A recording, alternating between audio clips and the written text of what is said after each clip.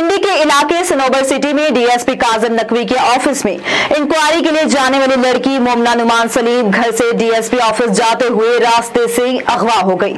पाँच दिन हो गए ताहाल पुलिस लड़की को बाजियाब ना करा सकी। इस हवाले से मजीद बात करते हैं bureau chief A one TV Bashir Malik से। जी बशीर, बताइएगा।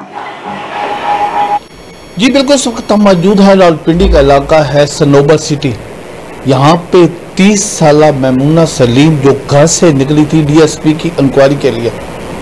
आज पाँच दिन हो चुके हैं, लेकिन वालदेन को अपनी बच्ची ना मिल सकी। पुलिस ने एफआईआर तो काट ली ताहाल अभी तक बच्ची को बाजियाब ना करवा सके। और गाड़ी भी उनकी मिल चुकी है। इस वक्त उनकी वालदा जो है हमारे साथ मौजूद है। मजीद अब बात करते हैं उनसे। ये क्या वाक़ है? जी, वो गई थी डीएसपी ऑफ़िस इंक्वायरी के लिए। वापस नहीं आई।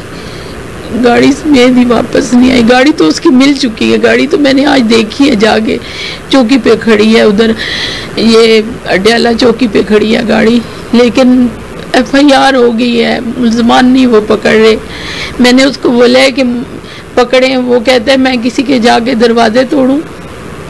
ये जो बंदा है ना, जिसने मेरी बेटी अगवा की है, ये जराइम पेशा लोग हैं। इसने पहले अपने दामाद को ग्यारह गोलियाँ मरवाई हैं, फिर अपनी बेटी को अगवा किया है, उसने गाड़ी में डाली है, फिर उन, उसके ससुराल वालों ने गाड़ी से उतार ली बेटी। ये इतने बंदे गए अपनी बेटी को जिसने नहीं छोड़ा, वो मेरी बेटी के साथ पता नहीं क्या कर रहे होंगे। प्लीज़ मुझे तफस चाहिए, मैं किधर जाऊँ? मेरी छोटी सी नवासी है मेरे पास। मैं बहुत परेशान हूँ। जी, बिल्कुल, जैसा कि आपने सुना, ममनूना की जो वालदा है, उनका कहना है, वो लोग काफ़ी असूख वाले लोग हैं।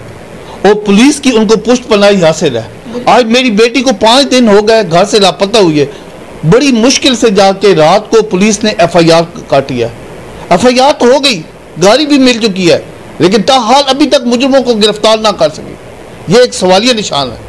उन्होंने अपील की वजी पाकिस्तान से वजी पंजाब से आई जी पंजाब से, मुझे इंसाफ दिया जाए और मेरी बेटी को बाजियाब कराया जाए। कैमरामैन उमेर मलिक के साथ Bashir Malik A one TV Rawalpindi.